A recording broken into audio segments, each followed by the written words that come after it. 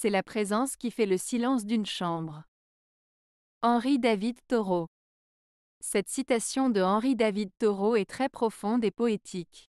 Elle évoque l'idée que la présence d'une personne, ou d'un objet, crée une atmosphère particulière dans une pièce, qu'elle soit faite de son ou de silence.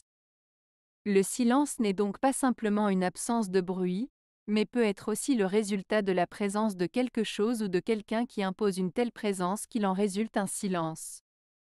Cela peut être particulièrement vrai dans des situations de contemplation ou de méditation, où la présence de l'être humain peut être ressentie non seulement par le silence autour d'elle, mais aussi par la paix intérieure qui en résulte.